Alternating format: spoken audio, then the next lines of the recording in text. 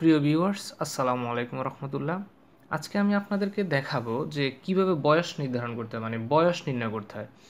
আমরা জানি অনেক সময় যারা আমরা চাকরির ক্যান্ডিডেট আছি, চাকরির ক্ষেত্রে কিন্তু আমাদের একটা বয়স নির্ধারণ করে দিন, মাস এবং বছরের হিসেব করে কিন্তু লিখতে হয়। আমরা অনেক সময় এই কাজটা করতে খুবই হিমশিম খাই বা বেকায়দায় পড়ে যাই, আমরা বয়স নির্ধারণ করতে পারি না। তো বয়স নির্ধারণ করা সাধারণত চার ধরনের হয়ে থাকে। কিছু কিছু সময় দেখা গেছে মাসের সমস্যা হয়ে থাকে, কিছু কিছু সময় দেখা গেছে বছরের সমস্যা হয়ে থাকে, কিছু কিছু সময় দিনের সমস্যা হয়ে থাকে। আবার একটা থাকে খুবই সহজ, সেটাতে দিন, মাস এবং বছর খুব সুন্দরভাবে থাকে। দেখুন, আমি আজকে আপনাদেরকে ঠিক চার ধরনের বয়স নির্ণয় দেখিয়ে দেব। খুব সহজে আপনারা মনোযোগ সহকারে আমার ভিডিওটি না টেনে ভালোভাবে দেখার চেষ্টা করুন, বোঝার চেষ্টা করুন, আমার বিশ্বাস আপনাদের আর এই প্রবলেমটা থাকবে না। দেখুন, আমি এখানে কিন্তু একটা বয়স লিখে রেখেছি। ধরুন আপনাকে বলে দিল যে আপনার ঠিক যেই সালেই জন্ম হোক না কেন, যে অমুক দিন, অর্থাৎ নির্দিষ্ট একটা ডেট থাকবে যে ওই দিন, অত তারিখ, অত মাস এবং অত সালে আপনার বয়স ঠিক কত হয় সেটা দেখার জন্য। তাহলে এটাকে আমরা দিলাম কি? দিন।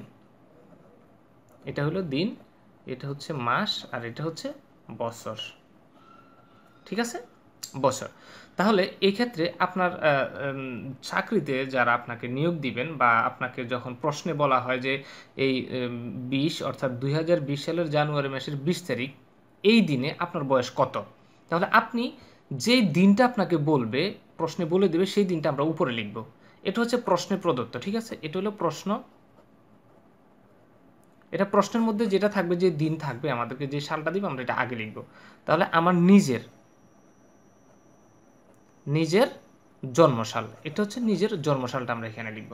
আচ্ছা দেখুন, এই অঙ্কটা কিন্তু খুবই সহজ। এটা একেবারে বাচ্চারাও পারবে হ্যাঁ? কেন পারবে? আমি বলে দিচ্ছি।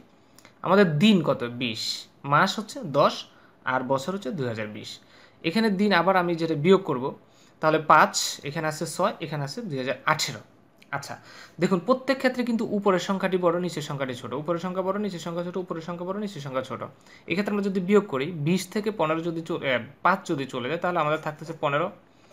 আর এখানে দশ থেকে ছয় গেলে থাকতেছে আমাদের চার। এখানে দুই হাজার বিশ থেকে দুই হাজার আঠেরো যদি বিয়োগ করি, তাহলে থাকতেছে কত? দুই বছর।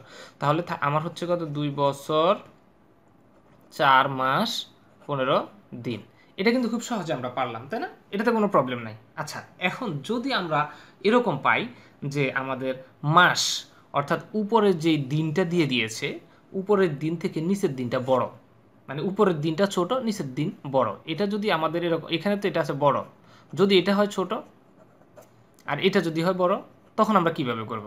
দেখুন, এটা খুবই সহজে করা যাবে। একটু খেয়াল করলে এটাও আপনারা খুব সহজে পারবেন। একটু ভালো করে লক্ষ্য করেন, মন দিয়ে শুনেন, ভিডিওটি না টেনে দেখবেন, তাহলে আপনার উপকার হবে।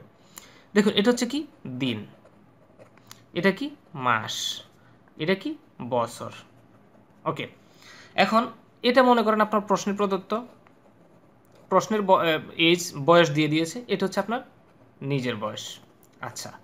এখন এখানে দিন হচ্ছে পাঁচ, আর নিজের দিন যে সেটা ষোলো। মাস বারো, এটা হচ্ছে আট ওকে এখানে দুই হাজার উনিশ, উনিশশো একানব্বই। এখন দেখেন ব্যাপারটা কি হচ্ছে। যদি এরকম হয়, তখন আমরা কীভাবে অঙ্কটা সমাধান করব? তো, এই ক্ষেত্রে আমাদের আছে কত? পাঁচ। পাঁচ থেকে তো আমরা ষোলো বিয়োগ করতে পারি না। তাহলে আমরা কি করব? এই পাঁচের সাথে মনে রাখবেন, এক মাস যোগ করব। এটা কিন্তু দিন। তাহলে এই, এখান থেকে একটা মাস আমি এখানে নিয়ে আসব। তো এক মাস সমান কত দিন? নিশ্চয়ই তিরিশ দিন, আমরা তিরিশ যোগ করব। তাহলে কত হচ্ছে আমাদের? পঁয়ত্রিশ, তাই না? এখন এই পঁয়ত্রিশ থেকে আমার কি হবে?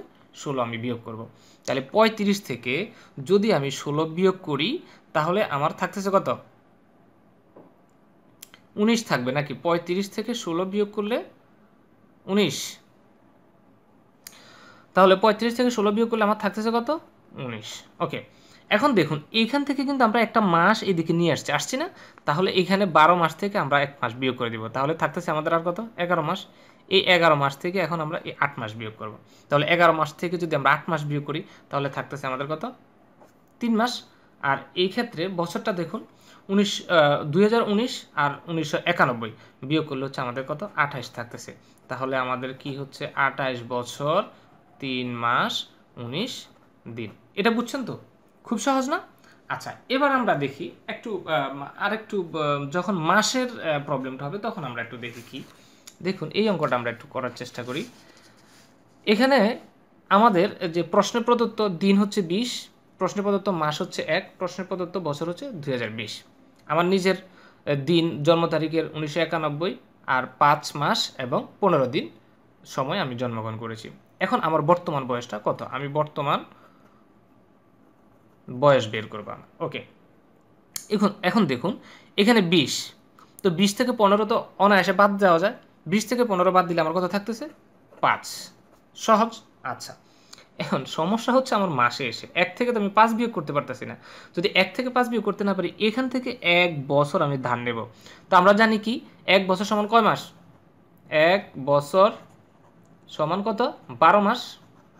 ওকে, তাহলে তার মানে এক বছর এটার সাথে যোগ করা মানে হচ্ছে বারো মাস যোগ করা। তাহলে একের সাথে যদি আমি, এই একের সাথে যদি আমি যোগ বারো যোগ করি, তাহলে হচ্ছে কত আমার তেরো মাস? তাহলে তেরো থেকে এবার আমি কত বিয়োগ করব? পাঁচ মাস বিয়োগ করে দেব।